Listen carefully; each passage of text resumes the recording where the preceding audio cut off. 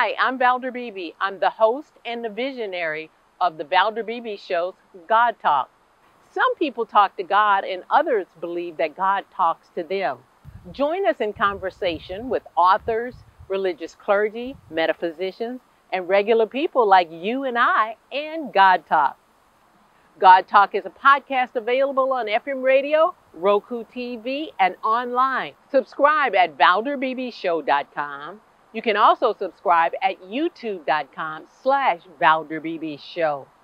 Join the conversation of God Talk. I'll see you there. Thanks so much for staying with me while I took a break, but I'm back with my next guest, Terrence J. He's here to talk about HBCU. He's an alumni and he's going to give us some information. Terrence, welcome to the Valder Beebe Show. Thank you so much for having me. Good morning. Well, you know, there's some money floating around HCBUs finally. Finally, people have found out the wonder and all of that of HCBUs. My husband is a product of that. My kids are a product of that. Tell me what you've got going on. Well, look, I'm really excited. I, like you said, I'm an HBCU graduate uh, of North Carolina A&T State University, and we're doing a really special program with Now or Later, and it's called Recognize the Chew. What CHEW stands for is Champion, Hustle, Empower, and Win. And we're gonna do a virtual class with students to talk to them about why it's important to hustle. I've hustled my entire career, and I can't wait to work with these universities to instill some of that knowledge. In addition to that, they have a big $10,000 scholarship that's gonna be going out to students, so I can't wait to, to tell you guys more about this program. Those scholarships that are going out for stu- for students, uh, is it in any particular genre of HCBU, or wh- how do they get connected with that? Go to Now and Later, and it has all of the information on the scholarship program. Uh, and it also talks a little bit more about my class. And my class is going to focus on that hustle. That's what it's really all about, is to have that hustle when you're in college and then to transition into whatever your dream is.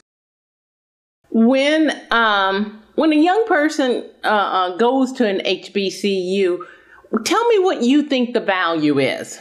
You know, for, for me, I had applied to a, a bunch of different colleges. Um, I in North Carolina, I tried to go to a lot of different places. I didn't get accepted. I was on academic probation when I was coming out of high school. My grades weren't great, and HBCU took a chance on me. North Carolina A&T took a chance on the kid, and because of that, I was able to go through school, and through that matriculation, I was able to gain the confidence. I got my grades up. I joined Student Government Association. I joined uh, Omega Psi Phi fraternity. I, I learned a ton of things that helped me uh, further on in life.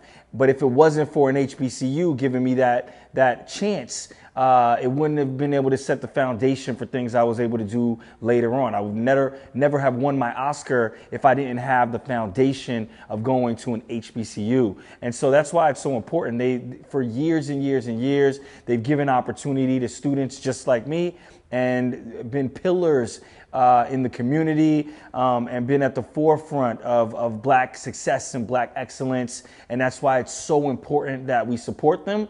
And that's why it's so important that companies like Now and Later step up to the plate and put their money in the, where their mouth is, just like they're doing with this program right here.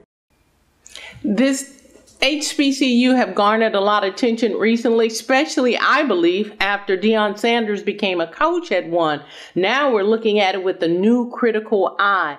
This $10,000, how can students look at this as a, as a new critical opportunity?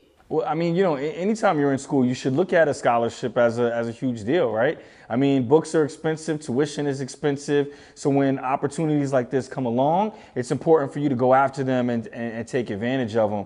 And I mean, look, you know, from the from the White House to Hollywood, uh, from from Spike Lee to to Taraji P Henson, you know, some of the most prominent figures uh, in America went to HBCUs, and so that's why it's it's it's so important for us to continue to support them with resources, support them with support and love and and and finances, and uh, programs like this and scholarships like this are very important.